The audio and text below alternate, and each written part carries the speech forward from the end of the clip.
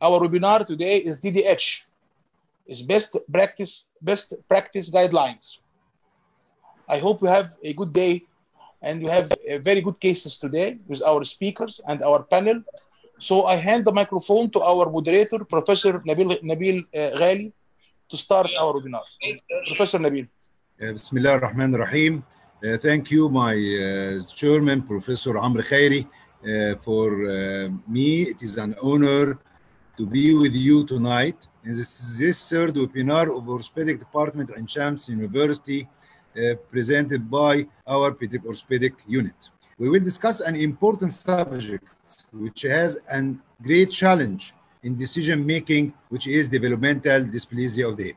First of all, me, I am Nabil Abdmenam Ghali. First of all, I would like to uh, welcome my professors and the uh, guest panel of this uh, webinar, uh, Professor Ali Ibrahim, Professor Hani Hefni, and my dear colleague, Professor Tariq Hassan. Also, we must invite, I welcome my colleagues who are will be the speakers tonight, Dr. Tamer Fayyad, Dr. Shadi Samir, and Dr. Ahmed Said.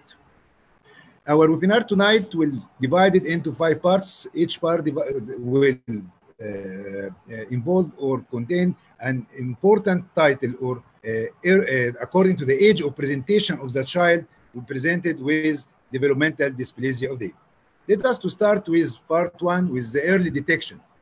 Is we are uh, speaking about the screening versus surveillance. We present two clinical scenario at age of birth. The clinical scenario with a female, 24 years old primary gravida, develop, deliver full-term baby girl with elective cesarean section because the boy baby was in breech position. You are called by the attending pediatric physician as he uh, noticed that the baby has clicky left hip on routine examine, examination of the newborn. This is one of our first clinical scenario. There are another clinical scenario with a female lady, 32 years old, delivers her third baby who was full term, delivered by normal vaginal delivery. Again, you are called by the pediatric physician who attending this delivery as he noticed the baby has clicky right hip. So we has we have two, two different clinical scenarios, and one of them, as I mentioned, and I start with asking our Professor Rahim about his opinion, how he will deal with both cases. We start with the first one in front of you, Professor Ali. Yes. Uh, actually, these two are very uh, clear cases. Uh, I would like to mention first that clicking hip is not a diagnosis of DDH. There are some differential diagnoses. Most commonly is iliotibial uh, tract snapping or iliopsoas uh, snapping or uh, associated multiple congenital deformities. Uh, so in this case, we have to be clinically sure about DDH diagnosis. The first case is a newborn breech presentation, female with a click on the left hip, and it is the first baby for that mother. All these are risk factors for DDH, especially if associated with club foot. So we have to clinically prove if it is unstable hip or not. This we can do by performing Ortolani test and, uh, and Barlow's test. With this, we can uh, find out unstable hip. We can be sure about this by performing an ultrasound examination ultrasound examination, although some authors prefer to do immediately after birth, myself, I prefer to do after six weeks because in the differential diagnosis, we have to put a normal hip, which gives a click, without being unstable hip. Thanks. This is the first case, Professor Ali. What about in comparison with one? The second case, the second case does not have risk factors because it is a boy, it is the right hip, and it is the third baby for that mother. So, because there is a clicking hip, we have to be Uh, performing other clinical examination, including Barlow's test and Ortolani test. And in this case, we can do ultrasound at birth or delay it for six weeks. And myself, I prefer to do X-ray to examine the spine to exclude meningomyelocele and paralytic hip and other causes of clicking hip. This case, Professor, second case is, is, has has an isolated problem. The other parts, examination part, are normal. Do you notice that the first one there is a risk factors, as you said, and second Yes. one there is no risk factors, and Yes. you will proceed for doing ultrasound Yes, for both for especially both for, cases. Yes. especially for the second case, especially for the second case, because for the first case, there is risk factors, and we can be, uh, perform a clinical examination to be sure about instability of the hip, which can be normal and uh, will disappear at six weeks. Okay. So we, I prefer myself to do for the first baby ultrasound after six weeks. And if I do it immediately, I have to repeat it at six weeks. This is your opinion, Professor Ali. I can Yeah. shift my mic to Professor Hani uh, to tell us about his experience in these two cases. What is your protocol of uh, uh, proceeding for diagnosis and treatment, Professor Hani, for these cases? Uh, thank you for inviting me, uh, Professor Nabil and Professor Am. Thank you very much. It's my pleasure. Welcome, as usual. Uh, I think, as uh, Professor Ali said, uh, the case with the primigravida has a lot of uh, question marks. So she needs to be properly examined. And if, uh, if we have any doubts, we can do ultrasound either before she leaves the hospital, but there is no way to pass the four weeks mark without having a proper ultrasound and document whatever is there. Uh, if she's positive, or we click, uh, I- mean, if the baby is query uh, dislocatable, I would put the baby in double nappies for the, time being until we do the proper ultrasound at the proper time, which is could be either before the hospital uh, discharge or before the six week, the four weeks mark. The incidence of success at the uh, uh, four, uh, at the, for the ultrasound at the four weeks mark is 80% to give you a good, good results. So uh, I wouldn't miss that time. The clicky hip for the other boy is not really uh, showing uh, a lot of question marks. So I would say that this could be a iliotibial band clicking or uh, either uh, uh, this. I mean, this is what is expected in, the, in this age. What is your opinion, Professor Hani, as regards the, the rule of ultrasound as uh, we see in, uh, in some countries, they do an ultrasound examination as a routine screening for any newborn in their hospitals, while other countries did not depend on it as a screening and only ask it for doing ultrasound for uh, babies with risk factors. Do you believe of uh, that? Uh, the, there's countries like Germany, they do a, ultrasound immediately after birth. Uh, some centers in the UK, they do that, but the studies uh, did not show much difference really having the ultrasound very early or at the four weeks mark. But even if you have the ultrasound uh, showing uh, dysplasia of the hip at four weeks, you have to follow it up definitely. But even if you don't have any uh, uh, positive data with the ultrasound at the four weeks, but the history is suggestive, you, you have really to follow up the child until you reach uh, a safe, a safe stage. Okay, Professor Tariq, uh, I have two, one question for you as regard if you present this case without hip problem and you have a boy or baby with food deformity, you will ask for screen ultrasound examination as regard to evaluate other congenital anomalies, although the clinical examination is negative of the hip joint? No, my protocol uh, for screening is the selective screening. What I do is that I always advise that any baby should be examined clinically very well with the Barlow and Ortolani, like Professor Ali and Professor Hani said. And if in doubt, by the pediatrician, by a trained pediatric orthopedic surgeon.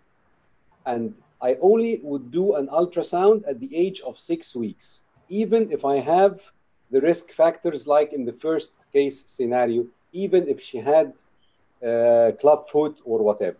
The other thing uh, I disagree with Professor Ali about is that I would never do an X-ray because if I would like to detect uh, meningomyelocele, etc., I can detect it clinically, even sacral agenesis, etc. So the X-ray will expose the baby to, to a hazard of X-ray that is not needed, and it will not give me the diagnosis. I will be able to diagnose any meningomyelocele clinically.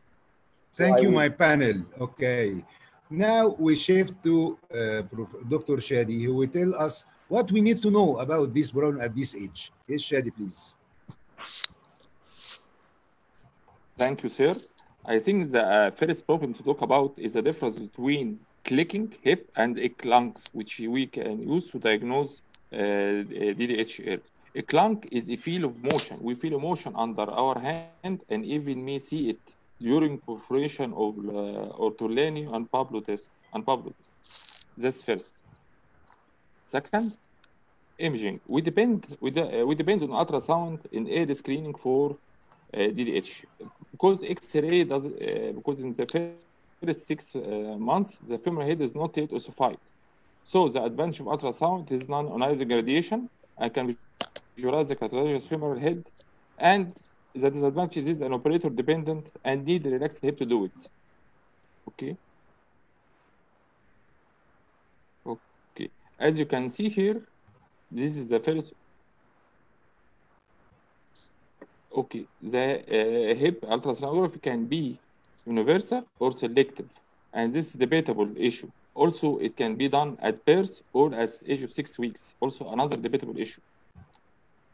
And another debatable issue is ultrasound and clinical examination in the first six week enough to exclude DDH in uh, newborn, because we know that stable hip at birth may become unstable later on or unstable hip at birth may stabilize at the age of six weeks?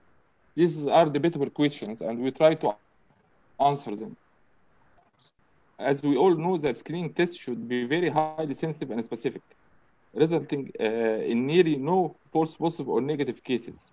But this, there is no ideal screening test for DDH until now. We depend on surveillance and doing clinical examination and ultrasound examination. Both are important and should be done and should be repeated. Next, please. Okay. Our first clinically proved evidence that we know that Germany and Austria both countries adopt universal ultrasound screening, regardless of the clinical risk factor. On the other hand, United States and United Kingdom perform universal clinical screening for all neonates and selective ultrasound screening only for high-risk patients or patients with positive Ortolani and Barlow test. In both, in all these countries, ultrasound usually done between four and six weeks of age. Okay.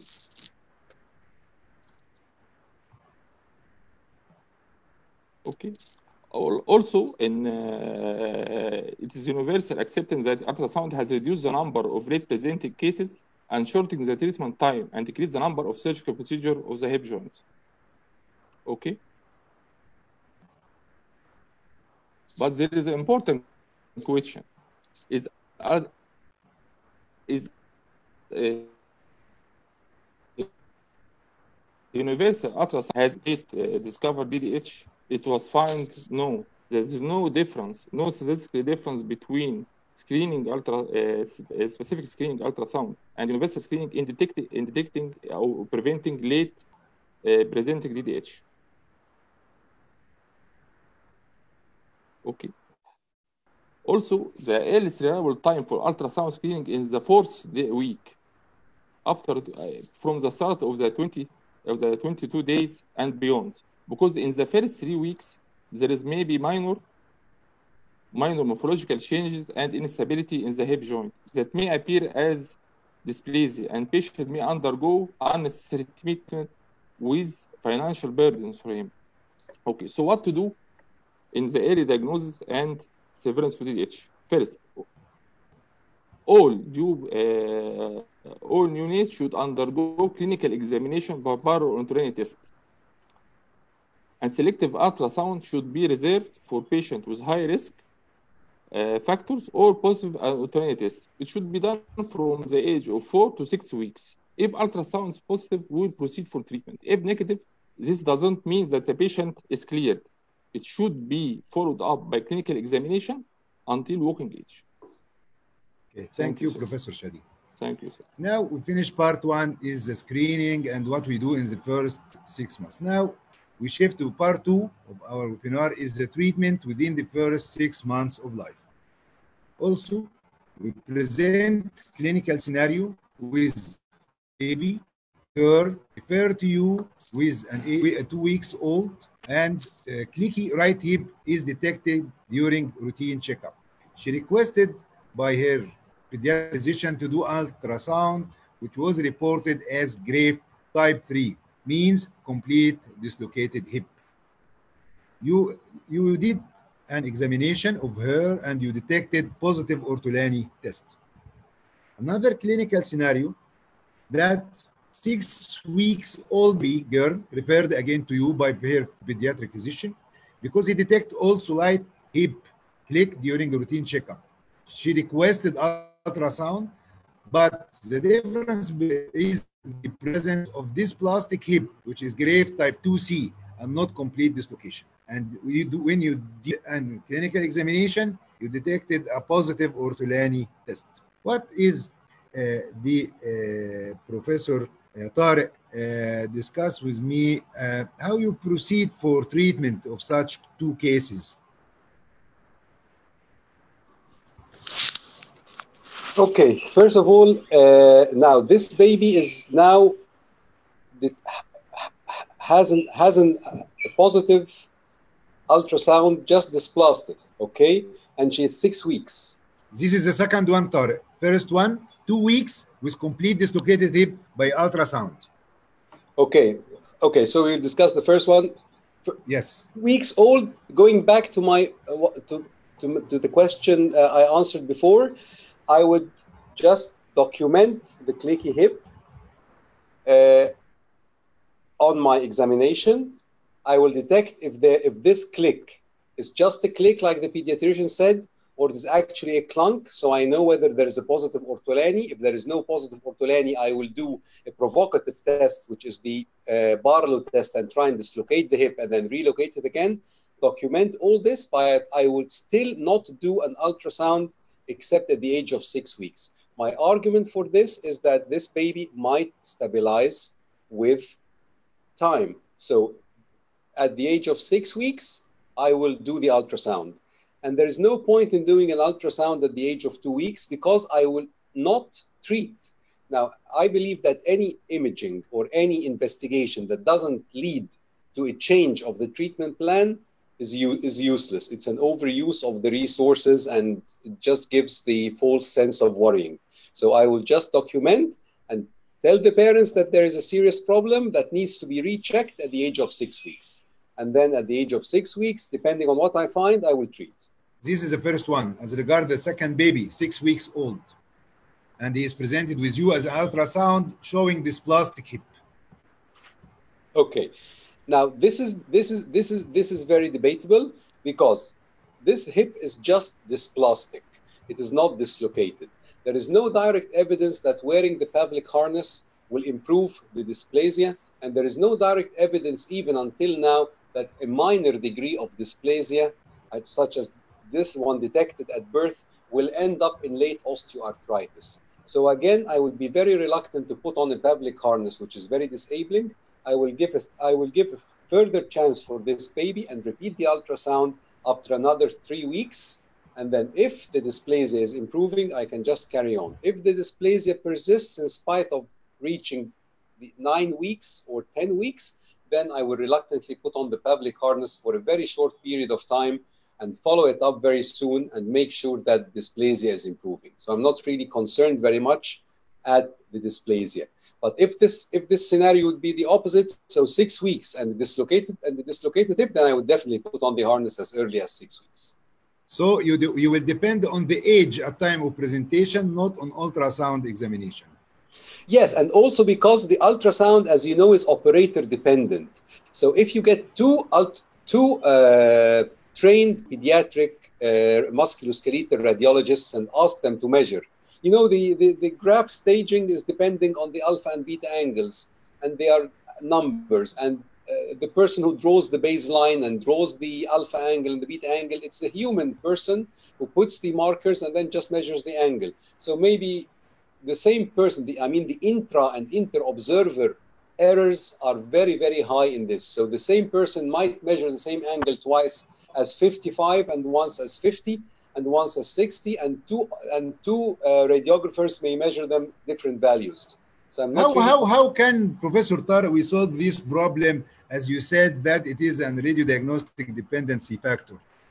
Is there any other modality for the evaluation and to confirm the diagnosis of such cases at that age? No, not at this age. Uh, Yes. I, I, I know you're trying to um, to attract me to, to, to talk about the role of MRI, etc., but not at this age and not for this reason. MRI we might discuss later when we want to check out the concentricity of our reduction.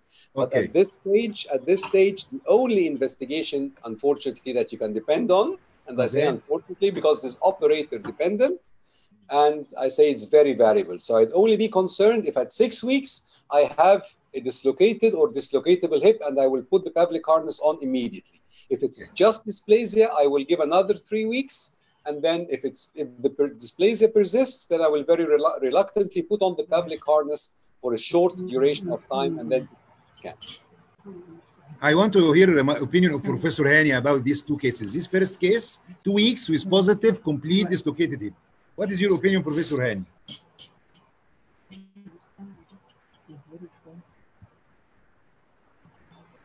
Uh, Professor Hani? Okay, Professor Hani disconnected. I think Professor Ali with me. Yes. What is Yes. your opinion, Professor? Dr. Hani, I- okay? yes. Turn back, Yeah. please, please, Professor Hani. I, I, I, in, in two weeks age, uh, the diagnosis is not settled, whatever it is. Diagnosis dislocated hip is not really causing a ma- major problem because we know that it can relocate and it can uh, go on uh, without any problem. but I would try to really relocate the hip and put a double nappies on at this age. I know it's not really uh, going to uh, help a lot, but at least this is not causing any harm. Okay, what about the boy, baby with six weeks with dislocated by ultrasound? Do you leave him like first one, or you proceed for application some divers or Pavlik harness? Uh, uh, uh, in six weeks' time, I would put double nappies and recheck again in three to four weeks. If it's not improving, I would put I would put a Pavlik harness, as Professor Tariq said. But uh, I wouldn't leave uh, uh, the the hip as it is without any interference, knowing it is dislocatable. I would I would put a double nappies on. It's not going to cause any harm. It may help a lot. At least oh. the parents would know that they are on the line of treatment. So, uh, on basics basis of Nabi, these two cases. panel, Dr. Nabil, please uh, for the panel who's talking, can open the video, please. For the panel who is talking, okay. he, he must open the video. Okay. Okay, Professor.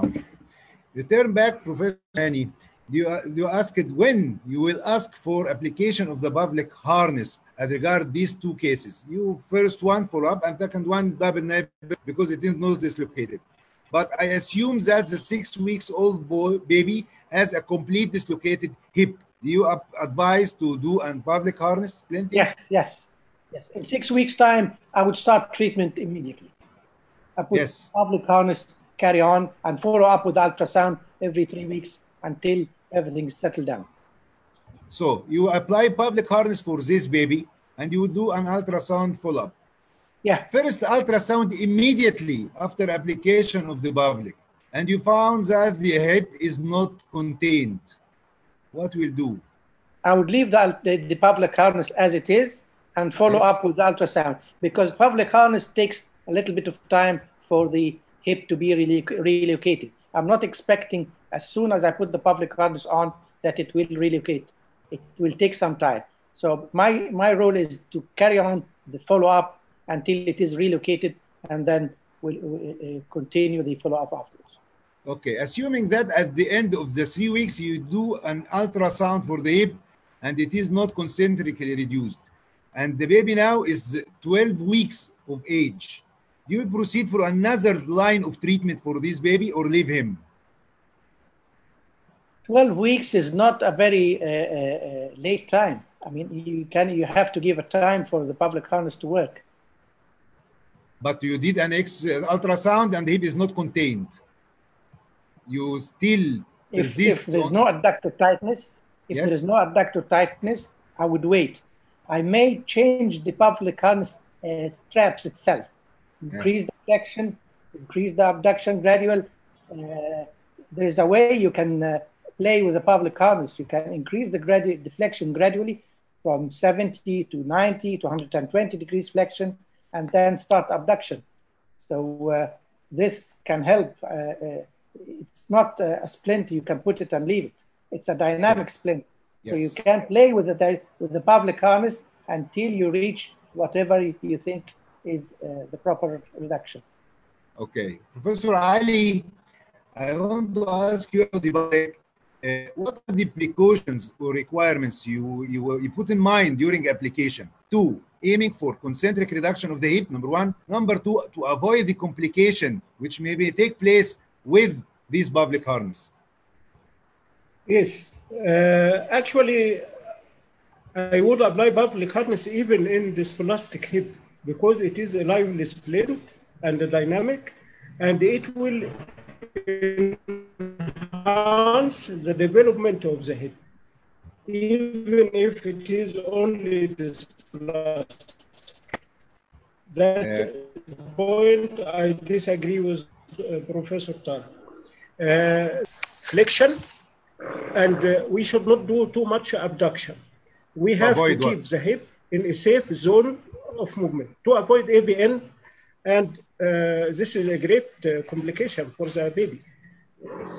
And to avoid uh, also femoral nerve compression and uh, ulceration of the skin if uh, the flexion Okay. So. Habib, return back to Professor Tariq. Uh, if flexion form is very near to, to each other. If it is too much flexion, uh, another point, if the flexion, it can cause inferior uh, dislocation of the hip. yes, we have to keep okay. it Uh, to keep the active movement in a safe zone and to avoid too much abduction and too much flexion. Okay, thank you. Professor Tariq, if we decide and the assuming that there is contained and concentrically reduced in the Pavlik, how much, how, how long do you leave the baby in the Pavlik harness to uh, reach the final containment and reduction of this hip? Okay, excellent question. Just before I answer it, I just want to add uh, uh, one little piece of information. The Pavlik harness is very, very difficult and cumbersome to be worn by the baby, and it causes a lot of distress to the parents to look after the baby in the harness. That's why I, I would not apply it unless it is really necessary. That's why even in the just dysplastic hip, I'm very reluctant to put it on until giving a further chance. And also when I put it on, if the like Professor Hani said, we do not expect immediate reduction. It should reduce gradually. But what I disagree with is that if at, after three weeks of wearing it, it doesn't reduce, then I know I, I uh, announce the failure of the Pavlik harness and I discard it and I decide on another treatment.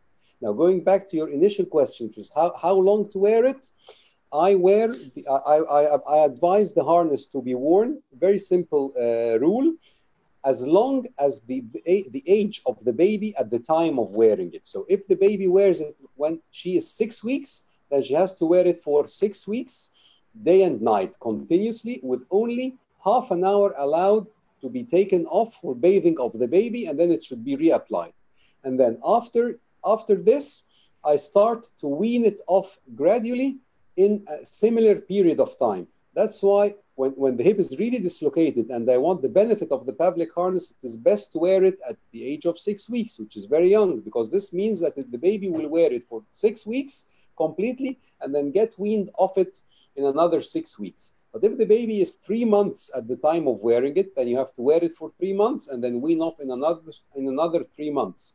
And then you start going past the six month age in which the baby wants to sit up, wants maybe even to crawl in some babies. So it's really very, very difficult for the parents to comply with.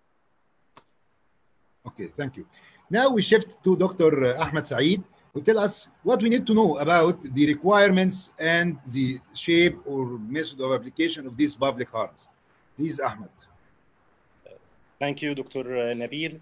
Uh, we would like to confirm the idea of Pavlik harness in treatment uh, of uh, baby after before age of six months and we aim to make a concentric reduction of the femoral head inside the acetabulum by using a Pavlik harness um, and avoiding the most common complication which is the avascular necrosis as we will show.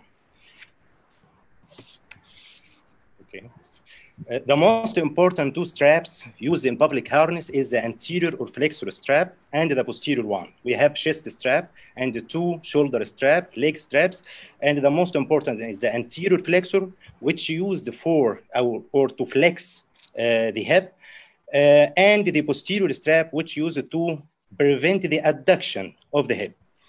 Uh, not to making two flexion or two abduction, but it to prevent extension and adduction. So it is a dynamic straps, not a static straps and not a rigid or a stiff um, instrument, okay? Hip is flexed to 90 degree or 100 degree of flexion because more flexion will cause posterior or inferior dislocation of the hip and they may cause femoral nerve palsy. So we don't flex the hip beyond 100 or 120 degree of flexion. Also, uh, abduction is used within the safe zone of Ramsey. Making a maximum abduction, then decreasing the abduction for 14, uh, 45 degree, um, because more abduction will cause an AVN or avascular necrosis. And when we put the hip in neutral position, it will dislocate the hip. We should, uh, like our professor said, we should uh, investigate or uh, make sure that the hip is contained inside by making ultrasound weekly. Um, and uh, uh, uh, each time we should examine the stability of the hip by doing Barlow and Ortolani test. Okay. Then, okay, Dr. Nabil. how time or duration of wearing the Pavlik harness. Duration, we uh, make the Pavlik harness or put the Pavlik harness all day time, 23 hours, and make it off for one hour to make bathing or to make anything for the baby. Till the age or till the time that the hip uh, reaching the stability by Barlow and Ortolani test and by the ultrasound, all of this confirmed that the hip reaching the stability, then we could put the Pavlik harness for more three months uh, after gaining the stability. And after that, we go with gradual weaning of the Pavlik harness. The most common two complication, uh, which we should know, avascular necrosis, when we make maximum abduction in Pavlik harness, and the Pavlik harness disease, which is debatable as we see in the literature. Pavlik harness disease when we put Pavlik harness on a dislocated hip for more than three to four weeks, it will erode against the superior lateral acetabulum and causing eccentric loading and eroding the superior lateral acetabulum. So after a while, we should discontinue the Pavlik harness to avoid such a complication. The indications of the Pavlik harness, uh, as we said, below six months and reducible hip. And the contraindication if the hip is not reducible, like syndromatic hip dislocation or stiff hip, or in the case of paralytic hip dislocation. Uh, when we see the uh, review of literature, which is the most important, uh, in Journal of Children Orthopedic, an exciting uh, paper published uh, that said, after the age of six months, it is difficult to immobilize the larger and increasing active child with Pavlik harness type. So, so uh, you must not wear the Pavlik harness after the age of six months. The upper age limit is six months age. Uh, Adler et al. Uh, publishing in SICOT, International Orthopedic, and recommending also not to use the Pavlik harness in syndromatic hip dislocation like arthrogryposis or neuromuscular hip dislocation like spina bifida or cerebral palsy. Uh, so uh, he put the indication for Pavlik harness only the congenital or developmental hip dislocation, not neuromuscular, not syndromatic hip dislocation. Uh, Sankar et al. putting a very nice article in GBO, which uh, support the idea of Prof. Hani Hefni. Uh, about he examined 38 patients with dislocated hip in Pavlik harness. And he follow uh, these babies for longer duration to see if the dislocated hip uh, inside the Pavlik harness and uh, they continue more than three weeks, they really uh, causing superior lateral acetabular eroding and really causing a Pavlik harness disease, he concluded that 80% of the hip in Pavlik harness treatment who successfully um, uh, put in the Pavlik harness, although dislocated, they relocated again and the hip is relocated inside the acetabular for 14 weeks. So he recommends using a Pavlik harness in infants up to 14 weeks, uh, nearly more than three months, even the hip is dislocated.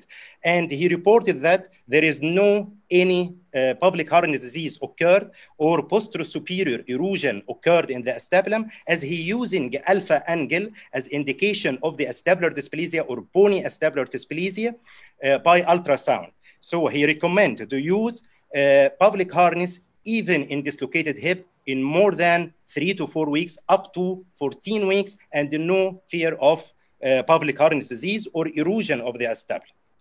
Thank you. Let, let me, Ahmed, to ask you about uh, one question uh, that you, you asked us.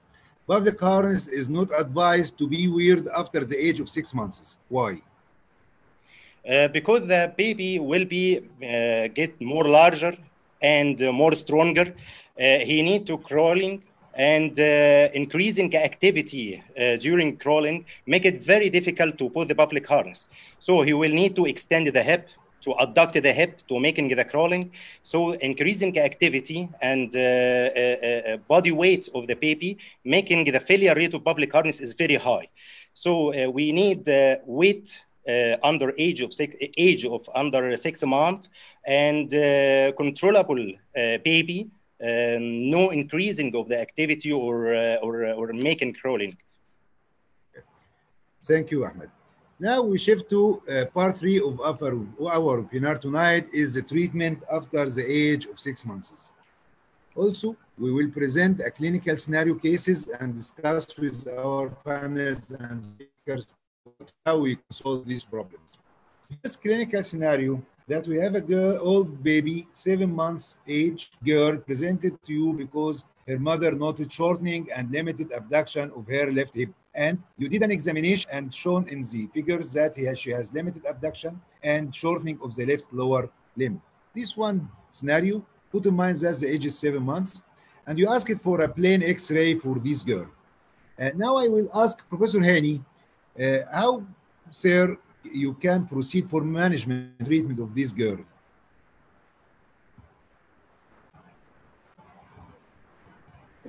Uh, thank you very much, uh, Dr. Nabil, for asking me. Uh, on examination, as you can see now, the hip is clearly dislocated. And I think at the age of seven months, we have to rethink again about having a closed reduction by trying a adductor tenotomy, checking under image intensifier if this can be reduced. And if it's reduced, fine, we put the Pavlik harness on, a spica on. Uh, there is a lot of literature now is coming that you can even with a late presenting children, you can put them in a Pavlik harness and manipulate the Pavlik harness gradually. And there is no reports uh, for uh, AVN or any problems.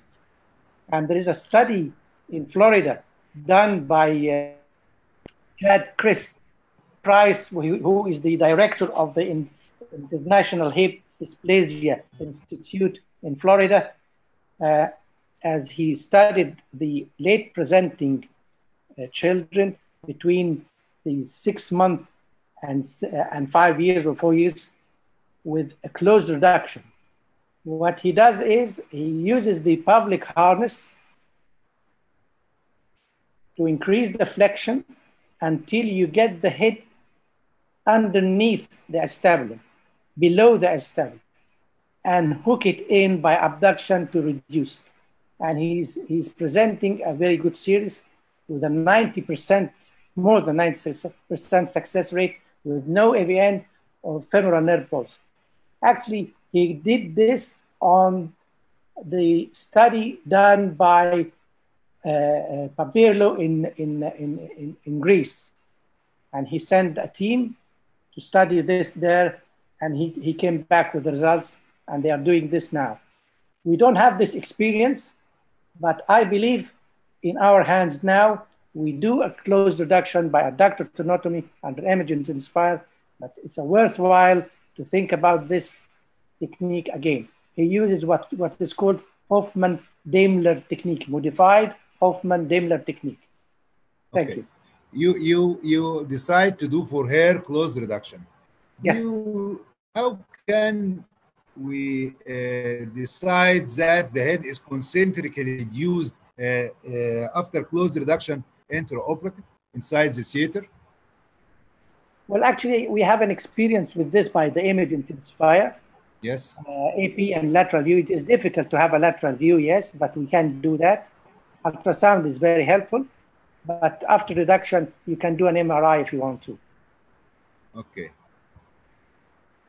Professor Tariq, do you agree for that that close reduction isolated, we don't need to do an arthrography for this after close reduction? Uh, excuse me. First of all, uh, I just want to uh, to uh, pay my respects to Professor Hani, but I, I I would suggest a different treatment. I do not believe at all in the practicality of closed reduction, because to do a to do a successful closed reduction, you need two things. You need to do, as Professor Hani said, an adductor tenotomy, and you also need to do an arthrography. The MRI is a very good way, but it will only tell you the result after you have applied the spica and the child has gone out of the theater.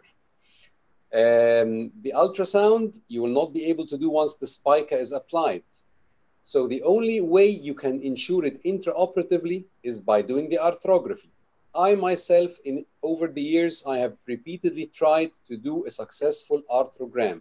It is a very difficult technique because what you usually put the needle, you inject a little bit of the dye, you find that you're not really intra-articular, then you get a little, you you move your needle a, a, a milli or two, then you re another another milli of the dye, and what you end up is that you end up with the whole the whole proximal femur covered in dye, and you cannot detect your medial pool. So what I would do for this baby at the age of seven months, I would go in and do an open reduction. It is very very simple, and I would still do it through superior approach. I would not go for through the for the medial approach because I find it very difficult and, and it has an increased incidence of AVN in the literature. So I would definitely go for an open reduction. And then I, even, even when I operate on these babies, I'm not extremely happy at the end of the operation when I look with the image intensifier on the hip spica eh, because I don't have an ossific center. I just rely on the proximal femur, but then I have to get an MRI, like Professor Hani said. This is a very good way because actually, if you look at the post-operative evaluation using something like the CT scan, which we, we, we usually do in older babies, you have to remember very well that every single CT you do to these babies is equivalent in the millisieverts, which is the unit of radiation measure, to 200 plain X-rays. Yes, 200. So now using the MRI is very good, particularly when you don't have an ossific center.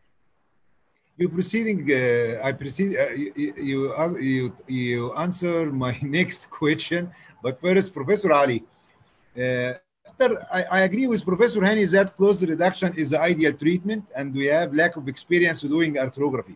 But assuming that we did for this girl is a closed reduction for her, the image inspires the anteroposterior view, the head is concentrically reduced. But sometimes Shin is reduced, everything is okay, uh, but I'm not sure that the head is concentrically reduced because I didn't see the lateral view. How can I judge that or the, is there any other modality for evaluating that? I'm sorry, I was disconnected uh, by the internet. Okay, if if Tariq if Tariq if Tariq is heard my question, yeah. can you answer? My point of view is to do closed reduction, maybe assisted by adductor tenotomy, and to assess the position after that, we can do either uh, multi-sectional MRI or CT but to be sure that it is concentrically reduced. Mm. reduced. You asked for CT. Yeah. Okay. Another yeah. another clinical scenario for the same age but older one. We have an old baby, 18 months, was presented with this video. I will show you now. This is the gait of the girl.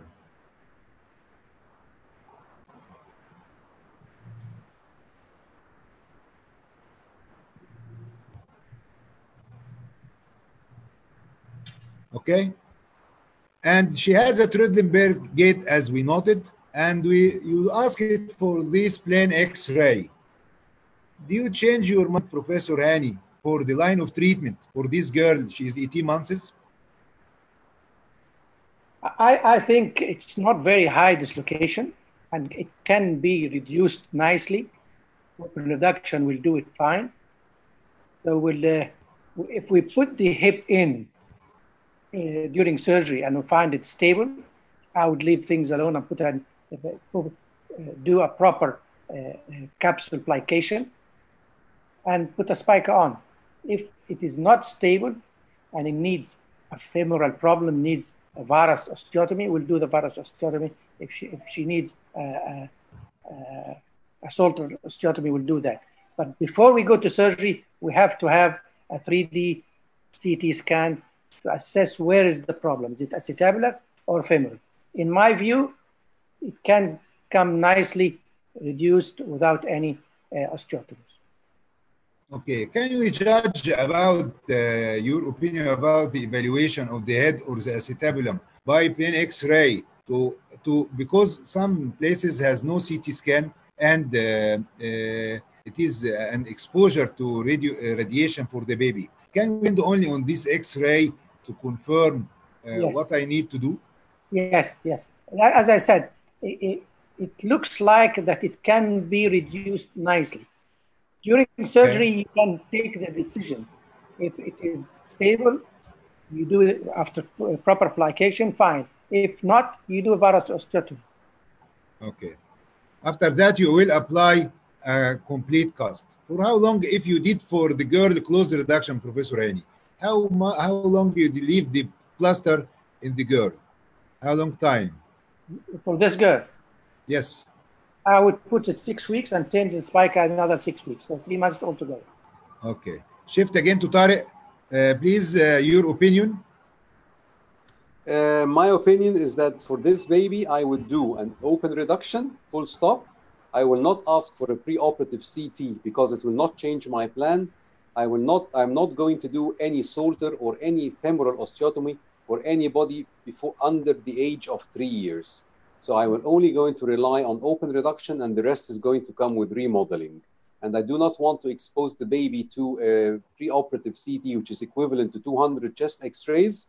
That will not change my decision. And I'm very confident that this would be reduced only by open reduction, provided the open reduction is done well and the uh, capsulorrhaphy is done correctly and all the steps are uh, we know about are done.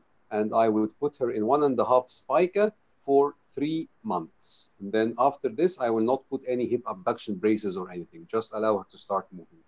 What are the precautions during reduction, open reduction, Professor Tariq, for this girl during open reduction? What, uh, what, uh, what are the uh, points the surgeon take care of it to avoid complication of such case?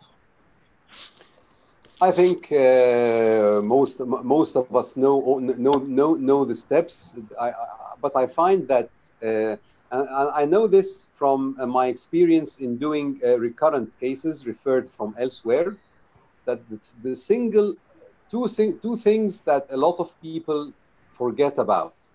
One is dividing the transverse acetabular ligament, and number two is is good cleaning of the acetabulum.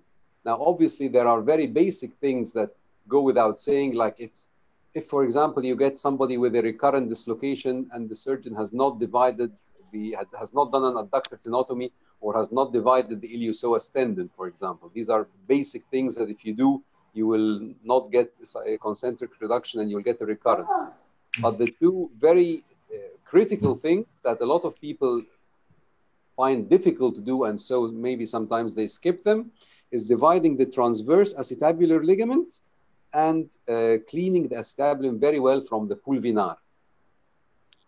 This to, to give you the chance to concentrically reduce the head inside the acetabulum. But what you, uh, you must take care of what during reduction? That it, it will not be tight during reduction. You may need here shortening of the femur to reduce the head. Or this is this girl? Yes. No, not at all. No. Okay. I, I, I, varus and varus derotation and pelvic osteotomy I will not do before the age of three. Pelvic, uh, femoral shortening I will never do do before the age of four or five unless you really have a high dislocation. Never. I will never do this in this baby. Okay. Let us to shift to another clinical scenario of the same age with older one with one month baby, a girl baby presented with not walked yet, and the treating physician suspected DDH. He requested X-ray, and as you see, it is an active rickets. Uh, can you comment on it, Professor Tariq, for this message very shortly? Because it is an everyday work that we, uh, the pediatric physician sent you limp child with, uh, told him he has DDH, and you do an X-ray, and we find an active rickets. So, so you, you must put in mind that the baby has other metabolic other diseases to exclude rather than DDH. You agree with me? Yeah, I, I totally agree with you. And a lot of late presenting uh, babies with DDH have come to me with the opposite situation. They went to their doctor and they are complaining that their daughter is limping on her left leg, for example. And the pediatrician or maybe even the general orthopedic surgeon tells them that, oh, okay, that your child has rickets. He doesn't even do an X-ray. He doesn't do labs, and he prescribes vitamin, vitamin D and calcium, and then the baby keeps on limping until they reach you when the baby is two and a half or three years old. Thank so you. the message is that uh, DDH by itself is not a cause of delayed walking, and uh, unilateral limping will not be caused by rickets. Okay. Now we shift to what we need to know about the treatment of this age group before uh, 18 months. Yes, please, Ahmed. Thank you again, Dr. Nabil. Uh, we, need, uh, we need to know about closed reduction and the hip spica versus open reduction. There is a lot of algorithm uh, to determine uh, when to go with the closed reduction and when to go in open reduction alone or when to go open reduction with femoral or pelvic osteotomy. A lot of literature putting uh, the uh, algorithm according to uh, the age of the child and another according to the primary dysplasia, or where the acetabular dysplasia or femoral, like coxa valga or femoral anteversion. Um, okay. So uh, closed reduction, usually uh, we, uh, can do closed reduction up to one and a half years. after failure of the Pavlik harness, after six months, up to one and a half year, you can do closed reduction. But there is a lot of parameter and the precaution to do this closed reduction. it should be done under general anesthesia and using arthrography and to determine the medial dye pole that the head is fully contained inside the acetabulum and usually uh, you need to do adductor tenotomy and putting the baby in the spica. Um, if filled or um, you don't have the parameter to do the closed reduction, you should shift to open reduction. Uh, we should uh, differentiate between developmental dislocation of the hip and traumatic hip dislocation. Uh, we cannot do uh, simple closed reduction and we relocate the head inside the acetabulum, but in developmental dysplasia of the hip, we have many obstacles, intra-articular and extra-articular. Intra-articular like the pulvinar fibrofatty tissue or lig thickened ligamentum teres and transverse acetabular ligament, inverted labrum, limbus, and extra-articular like the iliopsoas and adductor tenotomy, all of this should be released to achieve stable concentric redu reduce the hip. After uh, making the reduction, we should do the next uh, important step in the capsulorrhaphy. By uh, most popular is to do T incision or uh, vertical and transverse incision and advance the superior lateral uh, part of the capsule inferiorly to tighten the capsule anteriorly and making the hip stable, especially if we do open reduction alone. Um, okay. Uh, this is uh, the T incision and the uh, superior lateral capsule. Um, to achieve the uh, satisfactory reduction, either by uh, closed reduction or by uh, open reduction, we should obtain clinically stable hip um, and not, un, uh, not needing for extreme position like severe abduction or severe flexion or severe internal rotation to relocate, uh, to relocate the hip. It should be uh, a stable hip, not in extreme position and intact restore Shenton line and Von Rosen line uh, and it is difficult to do, like Dr. Han and Dr. Tariq said, uh, uh, lateral view under image intensifier inside the intraoperative period. Uh, post-operative after closed or open reduction, a hip spica like Pavlik harness, we do it in 100 degree of flexion, 45 degree abduction. If we do open reduction alone, you need some sort of internal rotation. And if there is osteotomy, like femoral derotational osteotomy, putting the head in neutral uh, position. And the total period of immobilization, it is a debatable issue, but the most common uh, and the most practical from two and a half months till three months of duration. And we need to do CT axial cut, especially thin cut, which is showing both femoral head uh, against the triradiate cartilage and the uh, femoral capital epiphysis is pointing to the triradiate cartilage in this important cut of CT. Okay back to the, back to the literature, um, in the Journal of American Academy, which published in uh, 2001, they concluded that children uh, have a successful closed reduction up to 22 months. Up to 22 months, you can do a successful closed reduction in DDH. But they put a strict information that they should do arthrography inside the surgery. And they concluded that arthrographic evaluation had significantly less incidence of avascular necrosis when compared with those treated by closed reduction without arthrographic guidance. And if they maintain a stable hip with uh, arthrography and they uh, make the success if the medial dye pool less than five millimeter, so the head is concentrically reduced and uh, making uh, the baby in, uh, in spica. And if the arthrography showing unstable hip or more than seven millimeter of medial dye pool, they will shift to another modality of treatment like the open reduction. So they depend on arthrography in uh, uh, evaluation of uh, concentric reduction and uh, successful reduction up to two uh, or one and a half years uh, child. On another side, McEwen um, publishing an article in Journal of Bone and uh, Joint and concluded that we can do closed reduction without arthrography. We can uh, uh, uh, making another modality to assess the concentric reduction rather than the arthrography, like doing a CT scan, axial cut, post-operative in hip spica. And uh, they depend on the anterior Shenton line. Anterior Shenton line is an um, line draw in this axial cut between the anterior symphysis pubis and the anterior neck of the femur. If the anterior Shenton line is resumed, this is considered successful closed reduction. And if there is broken anterior Shenton line, like a photo in the left side, there is a, need another modality like OP reduction. So they don't depend on arthrography in evaluation of closed reduction. Okay. Uh, this, bar, uh, this important topic in Journal of Children Orthopedic, uh, they confirm what we said about the position of the baby inside the hip spica, whether after closed reduction or after OP reduction, and we should not put the baby in extreme hip abduction because if we put the baby in extreme hip abduction, it will end up by a vascular necrosis. So we need abduction less than 45 degree.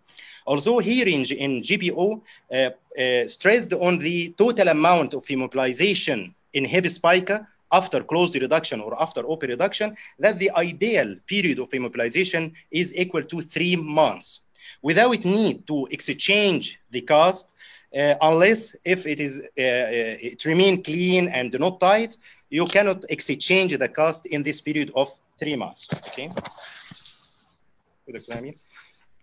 We shift to open reduction. Uh, literature said uh, and confirming what uh, Prof. Uh, said about um, the most common cause of redislocation after open reduction is not cutting transverse acetabular ligament. This considered the most common cause of redislocation and revision surgery in DDH. So uh, you should orient it well uh, about the intra-articular and extra-articular obstacles for reduction, especially the transverse acetabular ligament, which is the most common cause. Uh, Straker also uh, making a comparative study between if we do open reduction, uh, can we do a preoperative traction or we do intraoperative femoral shortening. So he compared between both methods, between preoperative, especially in high hip dislocation in older uh, elder child uh, above three years age old, uh, and he concluded concluded that if we do preoperative skeletal traction, there is incidence of 54 percentage of osteonecrosis. And if we do intraoperative femoral shortening, the incidence in his literature is zero for vascular necrosis. So he recommends to do femoral shortening with open reduction if there is high dislocation, especially in elder children above three years, and do not recommend preoperative traction to decrease or to make the head at a lower level. Okay. Uh, the most important and the most interesting uh, topic uh, or articles is the Arslan's in Journal of Children Orthopedic. And I recommend this article uh, for um, anyone who needs to uh, involve it in DDH surgery because he make very clear points in this idea. Arslan con concluded that uh, the single stage surgical procedure was more economical and allowed more rapid recovery uh, more than or, and less complication than consecutive operation. So he recommend a single stage surgery. Second, he have an excellent uh, outcome in his all uh, baby with only doing femoral shortening or femoral derotation or pelvic osteotomy with open reduction without doing any varization. So he answered the questions. is varus osteotomy necessary in one stage treatment of developmental dislocation in older children? And his answer is no.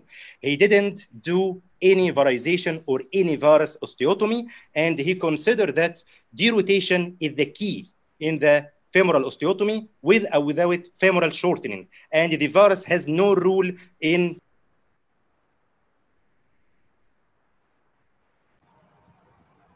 احمد انت عامل ميوت يا احمد الصوت عندك ميوت محدش سامع Although the Journal of American Academy confirm this point uh, of Arslan that femoral varus producing osteotomy have a role in treatment of children with neuromuscular disease, including cerebral palsy. However, varus osteotomy combined with open reduction has little or no role in treatment of DDH. Um, our grateful to make an application uh, that will be published on October uh, 2020 in current uh, pediatric orthopedic, how to determine the type of femoral osteotomy. And uh, this paper is done in Ain Shams uh, University uh, Department of Orthopedic, how to determine the type of femoral osteotomy and management of developmental dysplasia of the hip. We answer this debate according to the following point femoral shortening osteotomy is a must in any high hip dislocation. So if we have a high hip dislocation, especially in elderly children, we should do femoral shortening uh, to avoid tight reduction and to avoid avascular necrosis like Sankar et al. Uh, said in GBO. Uh, femoral derotation osteotomy, FDO, or femoral derotation alone, because a lot of baby, when we make internal rotation, we will uh, uh, see that the neck shaft angle is normal and he has no coxa valga, but it is apparent because of increased femoral anteversion. So we will, uh, when we exclude the femoral anteversion by putting internal rotation of the femur and making the true anteroposterior view, you will see that there is no coxa valga and the only excessive femoral anteversion. So in this group of patients that have a normal neck shaft angle below than 140, we do femoral derotation only and the additional varization is unnecessary and better to be avoided. While if we do this internal rotation and there is increased femoral anteversion, varus derotation femoral osteotomy is done and we do varization in our osteotomy.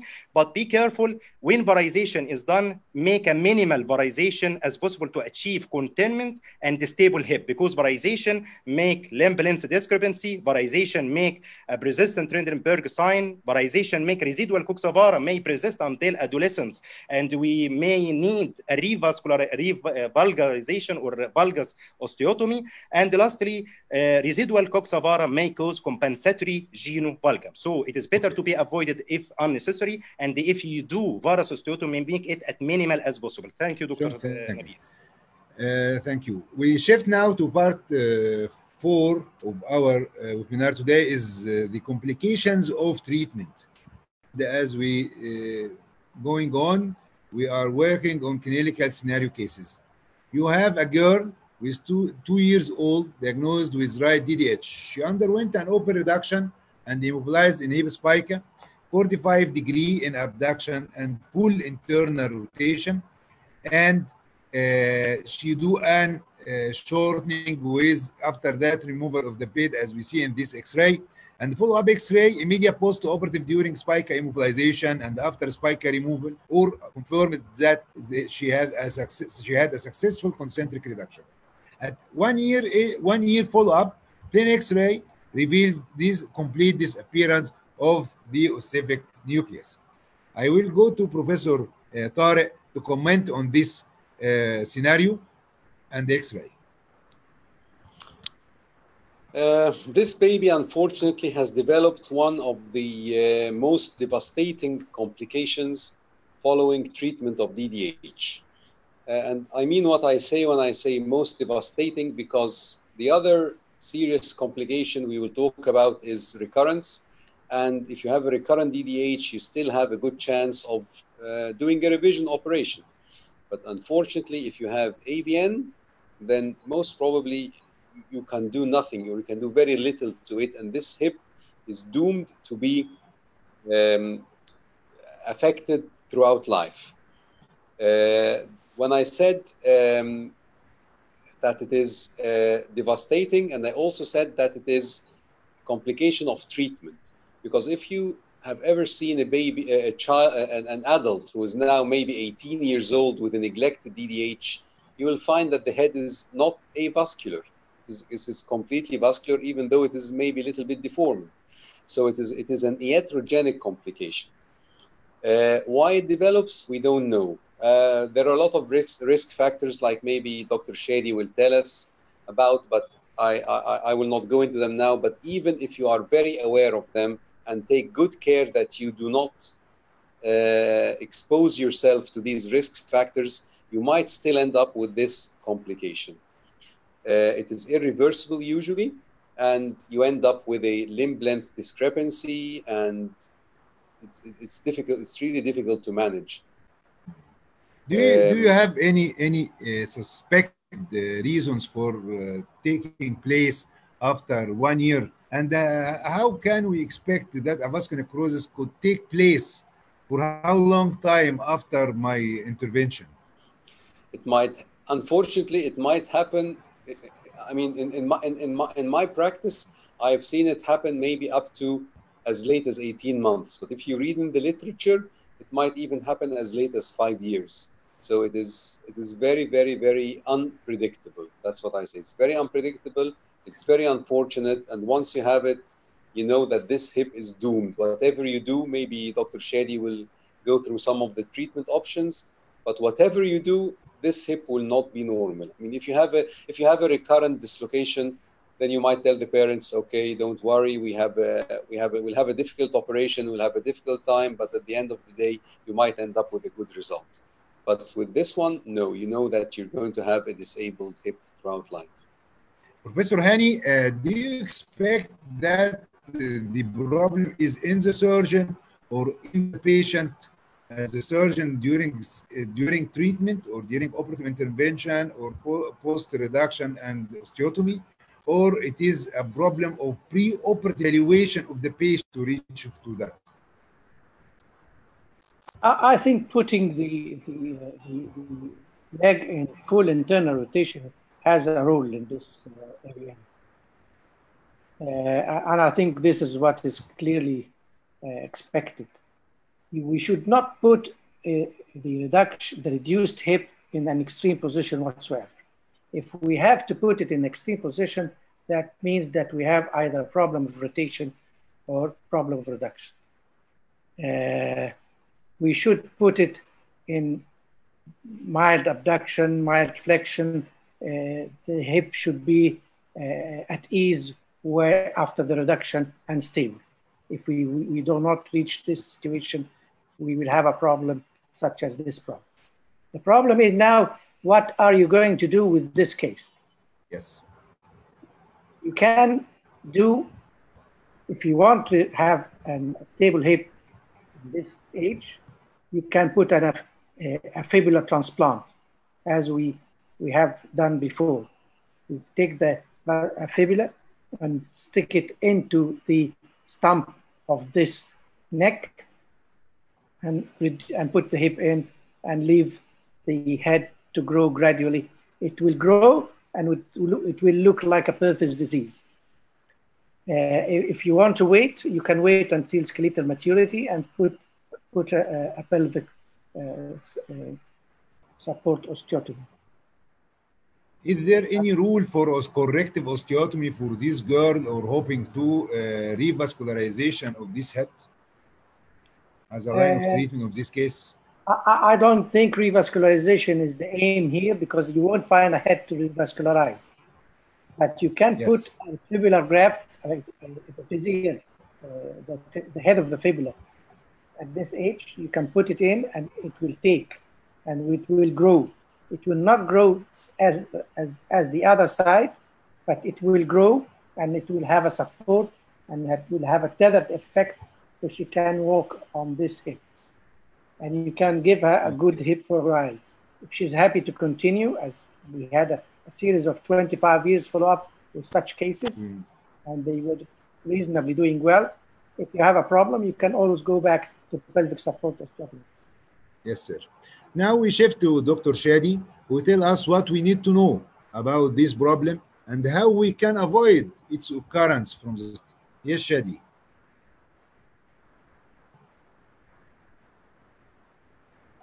Thank you, Professor Nabil. Thank you, Professor Nabil. Okay. Okay. At first, we should have a little uh, hint about the blood supply of the broken femur as it depends on the medial circumflex femoral artery. So the uh, proximal femur is highly susceptible to any blockage of this vessel, vessel especially with hip abduction. Okay. Okay. As uh, our professor said, it is a iatrogenic uh, complication. It is caused by surgery. Uh, what we can see in X-ray that make us suspicious of this condition is we can see the femoral head delayed ossifications up to one year after the operation. Also, we can see widening of the femoral neck within one year of the operation. Also, the head, femoral head may appear sclerotic or fragmented. Also, there may be widening of the femoral head, increased size of femoral head. Okay. Okay. So, what is the outcome of avascular necrosis? Back, please. Okay. Avascular necrosis can lead to limb blades discrepancy can, uh, and can cause coxa breva or coxa valga or, uh, or, uh, or coxa vara, which may lead to a acetabular dysplasia and geotic incongruity, and later lead to avascular uh, to osteoarthritis. Okay. There is a famous theory that's back, please, sir. There is a famous theory that correlate uh, ossification of the head femur to decrease the rate of avascular necrosis. This is a, a debatable issue, and we will discuss later on. Next, please, sir. Okay. In a systematic review published in the Journal of Children Orthopedic, uh, the author finds that the over rate of vascular necrosis in closed reduction is about 10%, and it can occur up to seven and a half years following closed reduction. Next. In another systematic review uh, uh, published in Medicine uh, Journal, the author found that the incidence of AVN range from 5 to 57% for open reduction versus 2 to 20% for closed reduction. So they concluded that open reduction is considered a risk factor for increased incidence of AVN when compared to closed reduction in patients less than three years old. Okay. The current literature, as we said before, that does the ossific nucleus, presence of ossific nucleus, decrease the risk of avascular necrosis? In a paper, in a review published, uh, in a review published in Journal of Bone and Joint Surgery, they, they, they also find that the current literature does not support the hypothesis of presence ossific, that the presence ossific nucleus causes reduction of the risk of avascular necrosis. On the other hand, okay, sir. On the other hand, in a research uh, published in Journal of Children Orthopedic, the author found that the femoral head size and not the ossific nucleus is negatively correlated to the risk of avascular necrosis. So the larger the femoral head, the smaller the risk of avascular necrosis. Okay, sir. Okay, how to, uh, to decrease the incidence of vascular necrosis? At first, avoid extreme position in hip spica. Don't do hip abduction more than 50 degree. Next, during, uh, in during operative uh, operation, if the femur head is high and it is reduced under pressure, we should do femur shortening to decrease the pressure on the head. Also, it's important to do adequate muscle release and concentric reduction. Next, sir. In a, in a research published in the Journal of Children Orthopedic, the author finds the degree of hip abduction the hip spica appears to be an important risk factor for patients less than six months. And they, uh, they recommend limited abduction to less than 50 degree. Okay. Okay. In another, uh, back please, sir. In another research review of literature, they also recommend avoiding wide abduction and use of femoral shorting can decrease much the incidence of avascular necrosis while treating DDH. Okay. So, how to treat uh, avascular necrosis? As our professor said before, we, we can do uh, femoral head transplantation if the head is completely resolved. But if I have overriding greater trochanter, we can do trochanteric disease or trochanteric advancement. In case of Coxa-Vara, we can do lateral closing wedge valgus osteotomy, which may be combined with trochanteric epiphyseal. Thank you. Okay. Now, uh, I think Professor Tariq uh, has a comment. He has his hand to, to, to told us something, Tariq. Uh, yes, I, I have. Uh, I have two, two, two comments. The first one is regarding this uh, patient that we showed the X-ray of. It is very important uh, before making the final judgment is to make an MRI, because actually this particular patient that I have showed on the X-ray, uh, she has complete absence of the ossific of the head on the plain X-ray. But when we did an MRI on her, she has a, a, a, a, a well-developed head that is totally cartilaginous. So this is very strange. And one of the signs is that failure of the ossific center to grow. And sometimes it's complete disappearance. But when you do an MRI, you find it. And this means that the hip is still stable. And which means that even with time, if you get limb length discrepancy, it will not be very dramatic. And even if it reaches maybe more than five centimeters, you can do limb lengthening with a unilateral frame without fear of proximal migration or subluxation. The other comment I wanted to make was regarding the paper that Dr. Shady presented about that open reduction has an increased risk of uh, AVN when compared to closed reduction under the age of three. I'm not particularly sure uh, whether this study was looking at the classic uh, um, bikini incision anterior approach of the hip or it was including patients with the medial approach, because it is well known that the medial uh, approach has a very, not very, but has a much higher incidence of AVN when compared to the open, uh, to the open reduction through the anterior uh, approach. Thank you very much. Thank you, Tariq.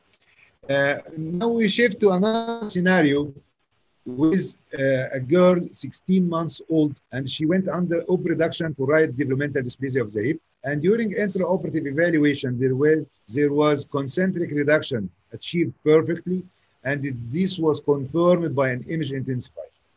And immediate post-operative, after discharging from the theater, a plain X-ray revealed dislocated hip. So, the, in, simple, in short, the subluxation or dislocation immediate post-operative. How can how would you proceed, Professor Ali Ibrahim, for that?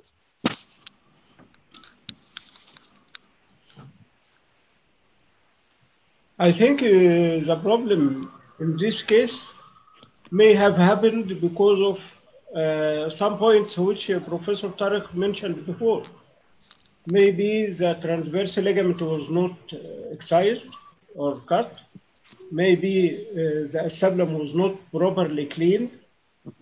Uh, we have to exclude that the hip is dislocated during application of the spica.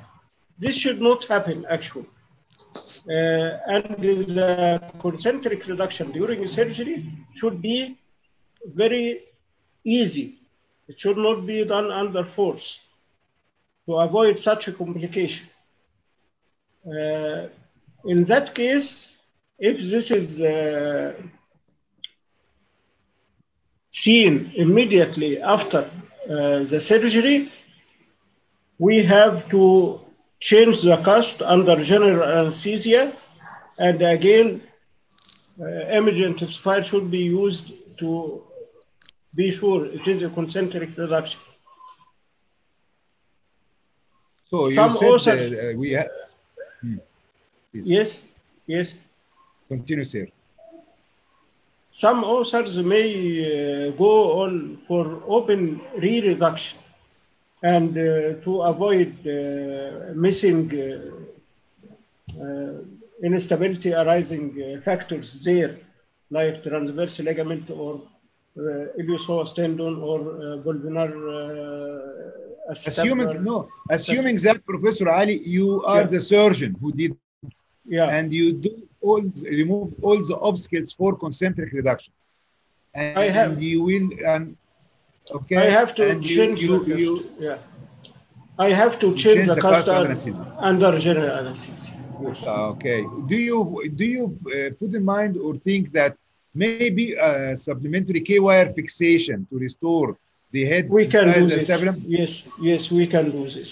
We can do this. Okay. Professor sure Hani, it will not redislocate. Yeah. uh, Professor Hani, I think you have another opinion and uh, you should tell us why that take place, took place.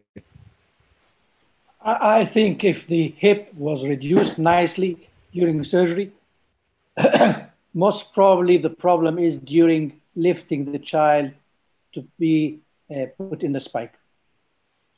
And this can be really important to look after. Uh, you have to lift the baby. One uh, uh, can lift the head and the spine and the back, and another one should lift the, the trunk, and one on each leg. So you get a proper uh, movement for the child uh, to be put in, in a spica. Uh, provided that the surgery was done and it was really concentrically reduced.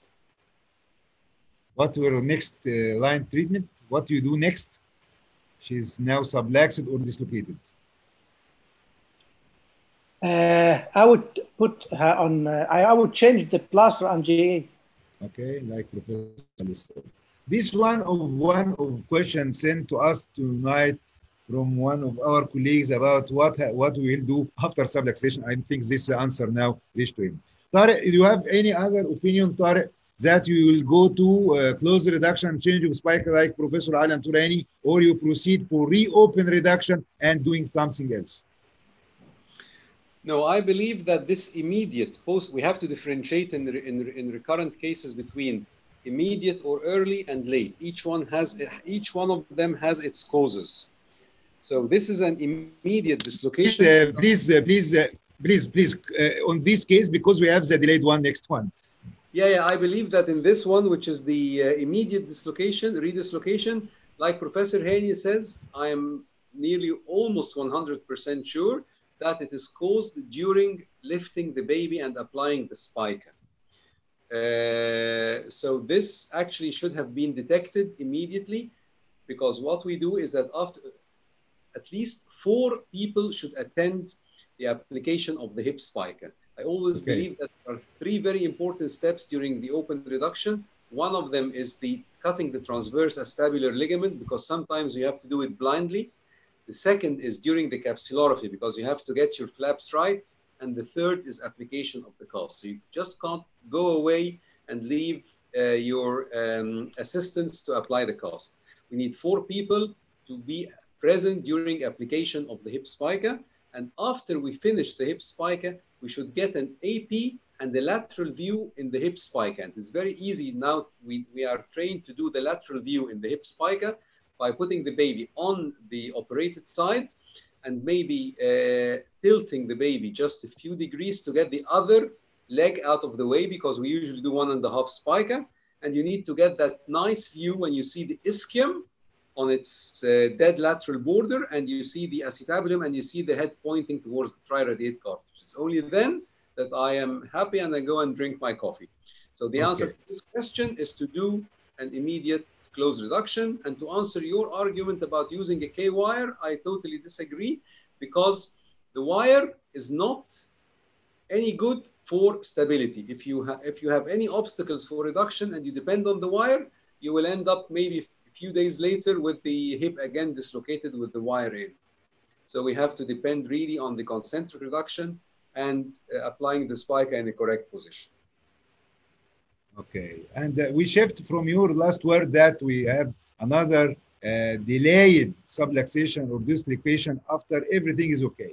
The girl is two years and she was operated and intraoperatively she has concentric reduction is achieved and the immediate post-operative CT scan even done. And we had she had concentric reduction of her head, but follow-up CT after two weeks revealed dislocated hip how can we proceed for that, Professor Hani? First case, we decide to do the change of cast under anesthesia. Now, she is two weeks later or later post-operative. How could you manage this? Sorry, who are you asking, Professor Nabil? Professor Hani, Yes. Professor Hani, Yes, uh, you, you heard me about Two this case? two weeks post-operative, and it Two was weeks, well- yes. very Yes. well reduced. I think it's a rota- rotation problem. Yes. I don't think this was reduced nicely from the beginning. It slipped. Slipped means that either the posterior part of the acetabulum is deficiently markedly, which is not the common, but the common thing is that it, it was put in, in not very well reduced position. So these are the causes. What is the next step? You return the girl back to the operating theater and do something there? Yes, I would, I would uh, re- redo the operation and make sure that the rotation of the limb is okay and the reduction is reasonable. Stable. Okay. Okay. From the X-ray, Professor Tariq, I, I, I, I see that the, the surgeon did not do any short of the femur.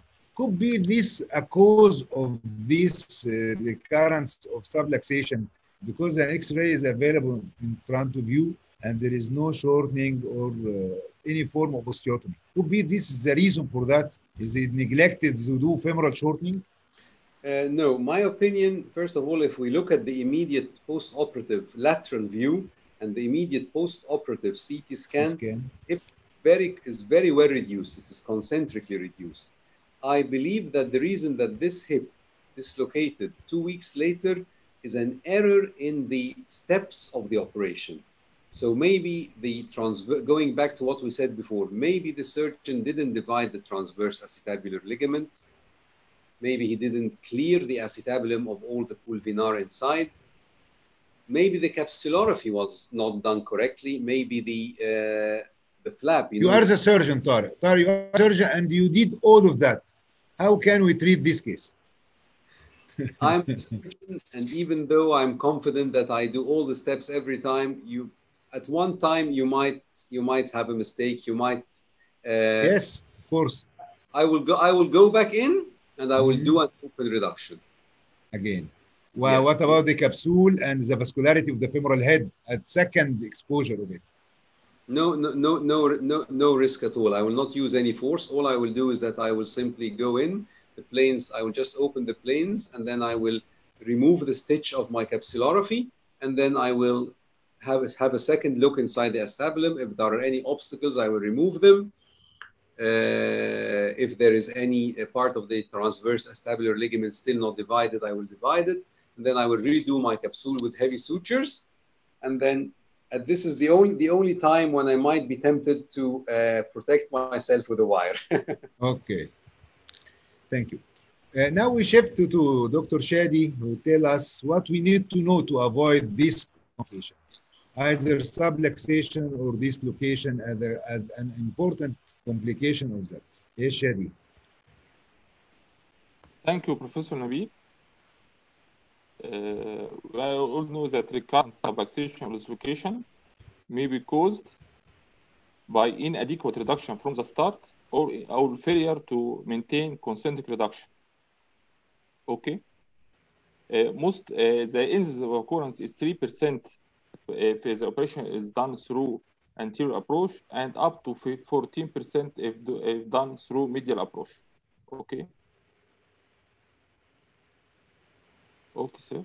As you can uh, suggest that uh, risk factor uh, for failure after open reduction DDH can be summarized in maybe due to the uh, appearance of DDH in the right side or in bilateral cases or greater pelvic width or decreased hip abduction in hip spica and increased femur anteversion.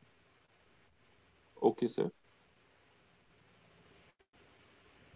Other risk factor that uh, may affect the dislocation is inadequate soft tissue release, as Professor Tariq said.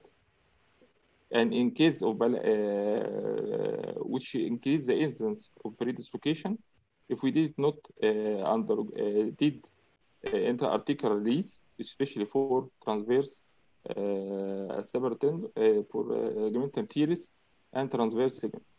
Next, sir. Okay. Okay. In a paper published in India Journal of Orthopedic, the authors uh, stress that the experience of the surgeon and the technical factor play a very important role in preventing early dislocation. and they found that the absence of ossific center and they found that the absence of ossific center was uh, has a higher incidence of redislocation, but it was not statistically significant. Okay. In another paper published in the inter, HIP International Journal, uh, the author found that high total that high total anteversion of the femoral head and the sternum is the main cause of redislocation. Also, he found that there is no significant difference in terms of acetabular incl inclination angle or ossific nucleus uh, diameter and pelvic side or pelvic width or central edge angle or a stable volume. They, uh, they recommend correction of increased uh, femoral antiver uh, of anteversion by femoral osteotomy in association with pelvic osteotomy to increase stability of the uh, joint. Okay, sir. Okay. Some surgeons prefer to uh, classify the reason for failure of reduction into immediate causes like dislocation during application of spica or associated pelvic osteotomy or femoral osteotomy with open reduction. Some surgeons prefer to postpone the femoral osteotomy or pelvic osteotomy to another uh, operation after six weeks. Okay. Okay.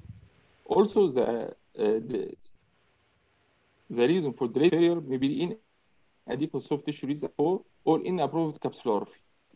Okay. Okay. The first question we have to answer when to do revision operation. If the redislocation is uh, discovered early within the first four weeks, immediate intervention can be done. But if redislocation, is discovered after uh, more than six weeks, it is better to wait to give a patient a period uh, of freedom from the hip spica to, uh, to, uh, to, for the mobility to return, and then we can do Uh, revision surgery after six week promotion. Okay. Okay. The first thing to do is to maintain a constant reduction during the operation. We cannot do pelvic or femoral osteotomy without the, the hip placed well inside the acetabular. Unless this is done, we not cannot maintain reduction. What to do inside the operation? As we did in the, uh, as open reduction normally, we release interarticular structure, especially transverse acetabular ligament, ligamentum teres, and we remove the pulvinar. And if the acetabular labrum is inverted, we can do radial cuts in it to invert it. If still, if the hip still high, we can do femur shortening to reduce the hip without any pressure on it inside the acetabular. Some also prefer to do femoral anteversion in next operation, in another operation after about six weeks. But other surgeons prefer to do it in the same setting if it, it is required intraoperative. Okay. Of course, capsulorrhaphy is an important step to be performed with heavy sutures. And if the hip is still unstable, we can uh, place K-wires to just maintain concentric reduction. Of course, the patient is immobilized in the hip spica for about 12 weeks. Okay. Thank you, Shadi. Sure. Uh, Thank you. I, I, want to ask uh, Dr. Tamer Fayad about his uh, personal working on the patient uh, with recurrent uh, case after six weeks. What you can face during reduction or we, during manipulation of the bone after uh, recurrence, after doing an operation six weeks, you will decide to do an open reduction and femoral. What about Okay. the quality of bone you may face Sure. during the operation? Uh, okay, so this this problem I, I have faced uh, many times uh, when doing a stage uh, operation for DDH, uh, starting with open reduction and femoral osteotomy six weeks later. Uh, what I have found that the, the, the bone quality is very weak. Sometimes uh, I cannot hold the, the, the osteotomy by the blade. So I, uh, for my personal experience, I stopped doing varus derotation six weeks later. I do it at the same session uh, with open reduction. Okay, but what about if the case after complete reduction, it is dislocated uh, you will how long time you will leave her to redo the operation? What how how long? Maybe maybe I week uh, I will I will wait for a few months to uh, give the child a chance to start walking and start regaining some uh, muscle activity. Then uh, do the the operation again. Okay. Sometimes you may do an over uh, closure of the capsule, and the capsule may be very very tight during uh, closure during capsulorrhaphy, and it may uh, subluxate or dislocate the head posteriorly. Do you advise to remove part of the capsule, like we said now, capsulectomy, capsulectomy, and do capsulorrhaphy not too tight during the operation Okay, sir. to uh, avoid that? uh, I don't close the, the capsule very tight, especially when I'm doing uh, some sort of femoral osteotomy at the same at the same session. Because if if if I did uh, a tight capsulorrhaphy and femoral osteotomy, will likely uh, be dislocated posteriorly. Okay, thank you. Uh, thank you, my colleagues. Uh, now we should, the last uh, part of our webinar tonight is the late presenting cases. And we start to present a six-year-old girl with left developmental dysplasia of the hip presented to your clinic and the parents admitted that apart from limping, the child with no pain and has no disability and this x-ray done for her by you. Uh, please, Professor Hani, can you tell me uh, how can you proceed for treatment of such girl? Uh, thank you for asking me, Dr. Nabil.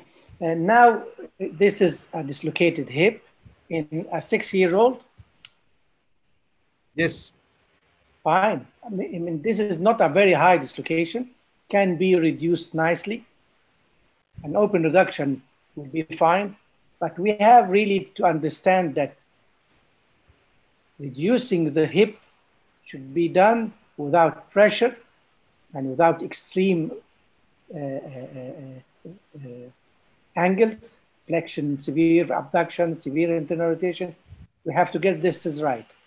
So the hip should be reduced and rotation should be uh, stabilized properly as well as a proper capsulorrhaphy. That would be enough in such a case.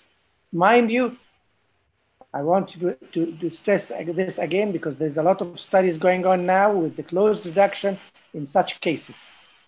Uh, uh, this was done by uh, the, the, the uh, uh,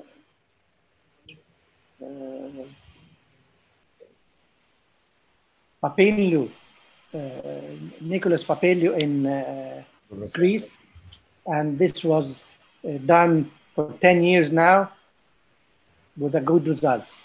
He uses a modified Hoffman Daimler technique. In our experience, I would do an open reduction if needed, if needed, a femoral shortening. But I don't think this will need a femoral shortening. But this should be assessed during surgery.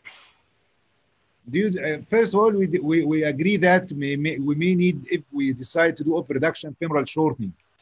Do you uh, advise to do uh, all the steps or the to obtain concentric reduction yes, at once yes, or staged? Yes, yes, I would do all together. I all together out, in this case. It is well reduced and stabilized. I wouldn't wait for another session. I would go Okay. straight away, do everything at the same session, go outside, and everything is settled.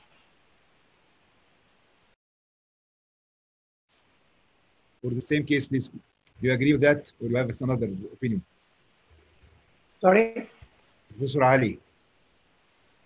Yes, uh, I actually agree with uh, Professor Hani. This is not very high uh, dislocation. It can be reduced by open reduction. We may need to do uh, derotation varus osteotomy. And in some cases, especially this case, I think there is dysplasia of the acetabulum. So we may need to, to do acetab- acetabulum or pelvic osteotomy. We can defa- Sorry. uh, delay it after six weeks. Yes. But you know from this figure, Professor Ali, that the girl is walking without pain limping only, and has no disability. Because it is uh, unilateral, it should be treated. Yes, that's my, what I, I want to know. Yeah. Tariq, do you agree that you, you proceed for all the steps in the same set or you do staged operation for the girl? First of all, uh, whenever I get a DDH in, in, in a child who is older than four years old, I am very, very concerned about the outcome. And I spend a lot of time with the parents explain, explaining to them that I am, cannot guarantee the outcome. Because we always have to remember that whether you have a unilateral or bilateral high or low uni, uh, dislocation that is neglected after the age of four, and the older the child is, the more relevant my, uh, my points are, is that you might get a very good uh, result on the X-ray, which is detected by the what we call the Severin classification, but you might end up by a very not good or very not satisfactory clinical outcome, as we know by the uh, Mac McAfee or the McRae clinical classification, which I mean, you might get a, a, a reduced hip on the X-ray, but it's stiff clinically. So the child is suffering. So I'm very reluctant, but definitely unilateral, six years old. I also take, take, in, take into consideration the baby's weight. So if the baby's weight is in of the average weight and it's unilateral and it's not very high, then I'm definitely not going to hesitate to operate after explaining to the parents the possible outcome of stiffness. And then, but I would agree with Professor Professor uh, Ali Ibrahim and Professor Hani Hifni that we are going to need open reduction. We will not need femoral shortening. We will need a derotation osteotomy without with very minimal or no varus. But I believe in staged procedures. I will do an open reduction, and then six weeks later I will do my derotation osteotomy. The reason for this is that there is a lot of evidence from the literature and also from my personal experience that if you do combined open reduction with a, with a femoral osteotomy, what you end up with is jeopardizing your capsulorrhaphy because you end up with the proximal femur with as a loose piece of bone and you cannot stabilize your uh, joint. So I do the capsulorrhaphy and then six weeks later I go in and do my varus osteotomy. And the point that Dr. Tamer mentioned about the bone being osteopenic is very relevant in young children and in paralytic dislocations. That's why I've stopped doing any femoral procedures under the age of three. But in a six-year-old, if you do a fem- if you do an open reduction and put her in the hip spica for six weeks, then you will not have any problem of osteopenia, provided she's not uh, paralytic and she's not young. Okay, that's what happened. What was done for the girl. She underwent stage open reduction. Then six weeks later, she was uh, operated by VDO with minimal varus osteotomy to contain. And here, uh, against the uh, rule, there is a K-wire put in the hip to maintain the reduction. I don't know why. Next, she had an excellent clinical and radiological outcome. This is an X-ray for the girl, as you see. And she's she, this is a clinical photo of her with very good range of abduction, no limb length discrepancy, as you see. And she she's here walking after the operation.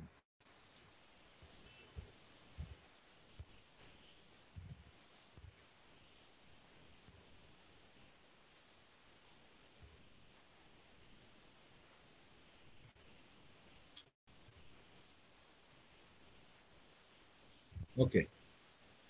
Next scenario, we, we are uh, another case, but with the same problem, with the left hip dislocation, and she is six years old, and this X-ray showing that the hip dislocation is very high. Is there any other uh, rationale or procedure you may ask to do, Professor Hani? You said that the first one is not highly dislocated, and we can do open reduction with or without femoral shortening. But this one, I, the plan of treatment will be different because it is high. Your opinion, Professor Hani?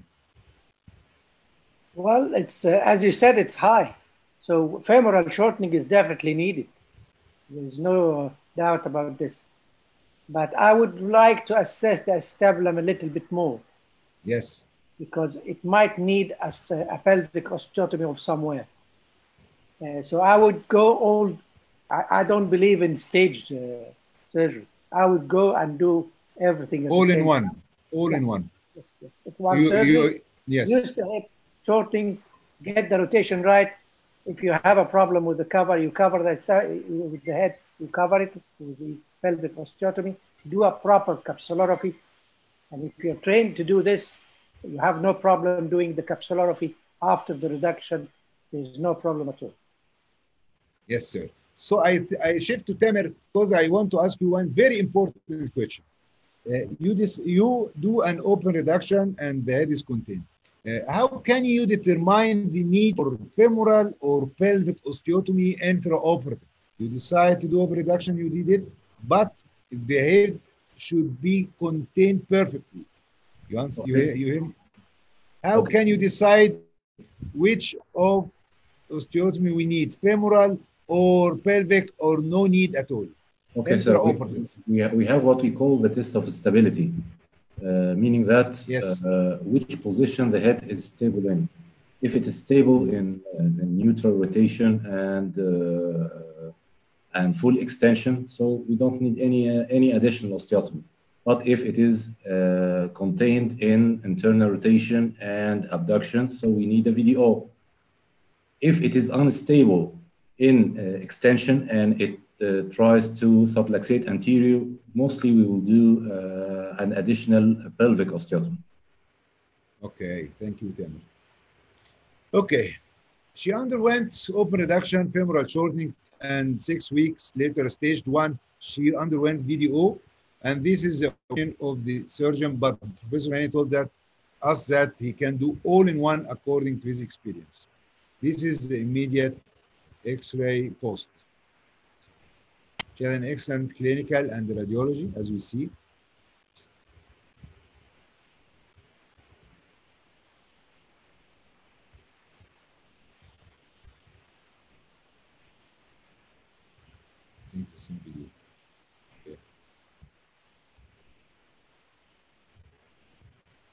Okay.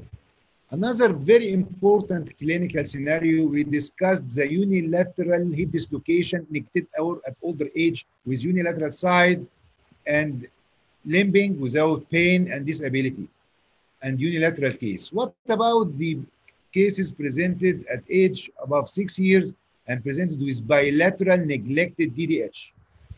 And the parents are always concerned about the diagnosis and the future future implications of the girl.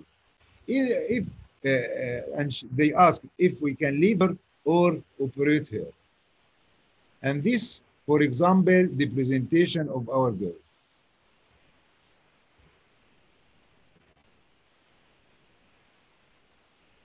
You see, you can see she has a waddling gait, she has wide perineum, limping, painless with excessive lumbar lordosis. Okay. And this is the photo clinical and radiological of the girl. The concern now is the case is neglected. She's six years, seven years old, and she has bilateral equivocal DDH on both sides. What we can do, Professor Ali? Well, uh, I will go for staged surgery uni, uh, to one side and staged surgery for the, uh, the other side, but I have to stress to very well clarify the prognosis and the expected problems to the parents. And I will leave the choice to them. If they So you- decide to operate, if they decide to operate, we will do staged left side, then staged right side, the long time for uh, treatment, the guarded prognosis and outcome. And the other thing, uh, the asymmetrical results on one side from the other side. Sometimes one side is uh, having a very well, very well reduction and uh, uh, growth and uh, asymptomatic, but the other side will show some problems. Then the So child you- will start, yeah. So you decide, first question is to decide to do or not to do. You decide to do and you will start to uh, decide to do- do staged surgery, Yes. one side by one side. One- one by one. Okay. Yes, but, Okay, you- but it should Hani. be very clear to the parents Yes. about the prognosis of the case. Professor Hani, you agree that or you have a, uh, to you I- I- decide I to leave the girl till maturity? I, I wouldn't leave the girl. I Yes. would do the open reduction and whatever is necessary, femoral shortening, pelvic osteotomy, capsulorrhaphy, get the hip reduced, spica, and the other one is next. I would sir. leave sometimes before the two uh, uh, surgeries. After, the, after- if we're going to start with the right side, after we finish the right side, get the full movements from the right side to the other side, left side. But if if you uh, another one decide to leave the girl without any intention, what is the prognosis for her? What is the problem later on?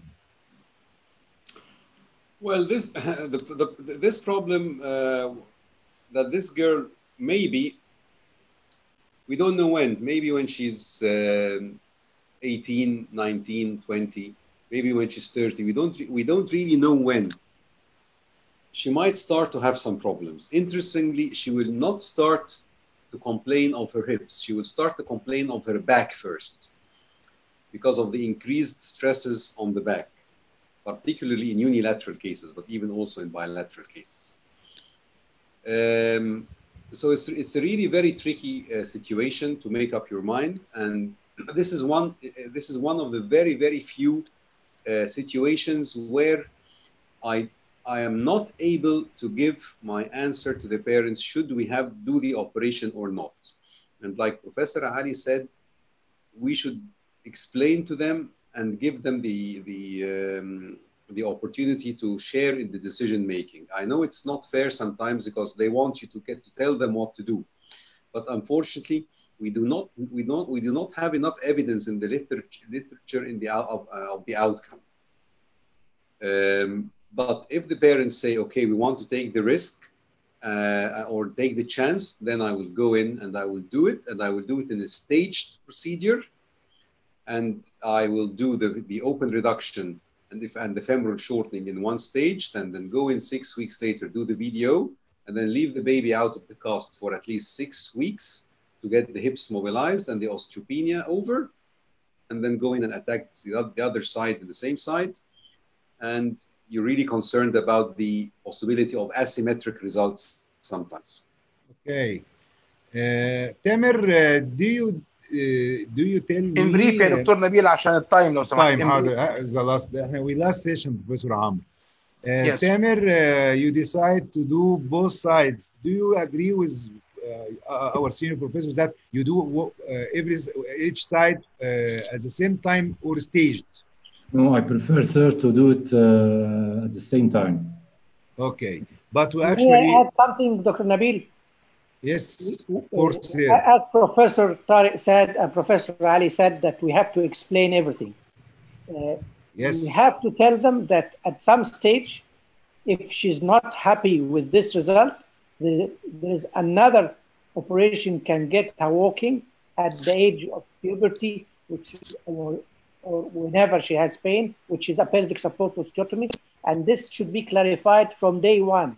So everything should be clarified to the parents before, sir. Okay. Thank you very much. Thank you, sir. And I, I will show the figures of the girl now rapidly because uh, we pass time. This is the girl before the operation. the uh, دي, دي results بتاعتها ايوه بعد الريزلت ساعتها بعد العمليه سوري I'm sorry. بعد Okay. بعد one side was Okay, done. okay, okay, okay, never mind. Uh, the last clinical scenario tonight is the same problem. And uh, I will uh, passing rapidly on the photo of girl with bilateral DDH as we see. And this is the clinical and radiological uh, uh, data before the surgery. And this her gait.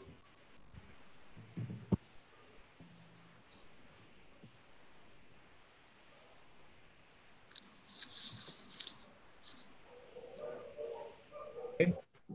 And decide to do what we, we are all agreed about the the stage treatment for and then this is before the, the, this is one side done and the other side prepared to be operated as time of the operation This is the result of the left side. Yes, yes.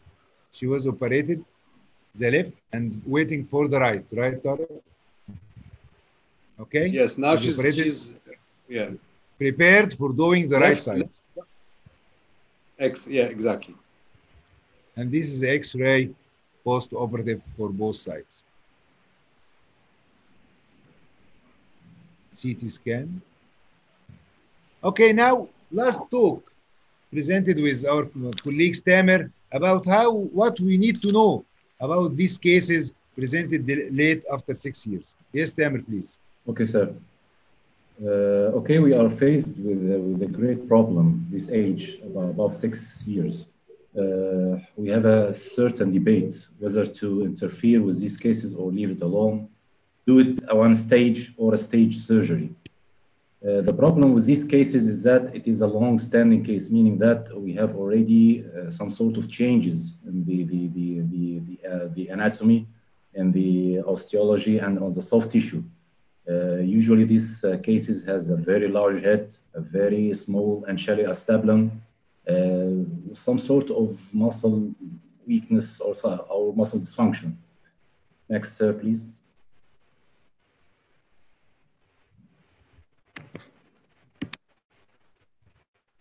So it is, if it is left untreated, we are uh, faced with a limbing child or a limbing uh, adolescent, uh, and it will lead to a progressive disability that will leave the patient uh, crippled uh, early in life. The aim of the treatment here is somehow different. We are not aiming at attaining a fully functioning uh, hip or a fully normal hip we are aiming after the reduction of the head is to regain some sort of normal anatomy to, to, to facilitate later management and uh, to, to some sort of improve the way of walking. We are faced with two situations, unilateral cases and bilateral cases. In unilateral, we have to interfere. Uh, but in bilateral cases, this is a great debate uh, because uh, around the age, the age of six years, uh, we are faced with a long time to finish these patients. Uh, so we have the patient has to understand the, the problem and what we are facing. Next, please, sir. Next, sir. The, the problem of stiffness is very great. So this is a, this is a state-of-art review article uh, that stated that uh, between the age of three and eight years, we have the option of open reduction with or without femoral shortening and with or without pelvic osteotomy. And above eight years, we have two options. Either we do the, the same or neglect the patient. Next, sir. This is a, a literature review. A one-stage uh, hip reconstruction is what I found. Mostly uh, the, the work done on, on the one stage reconstruction, including all the steps to be done at the same session. Uh, they pointed out a very, very uh, clear point that if we need shortening, we do adequate shortening. We don't depend on the degree of varization to present a part of shortening. Shortening is a part and varization is a part. Next, sir.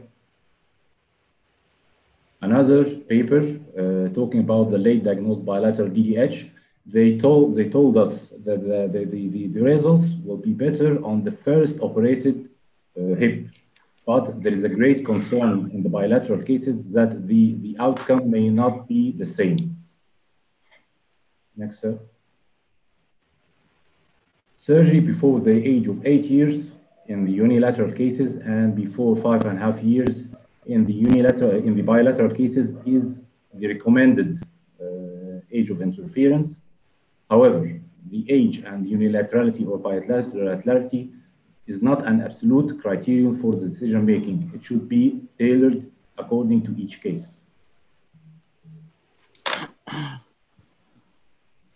At the end, despite this substantial research, high quality comparative studies are lacking between the different types of treatment. And at the end, it is according to the experience of the treating surgeon. Thank you, sir.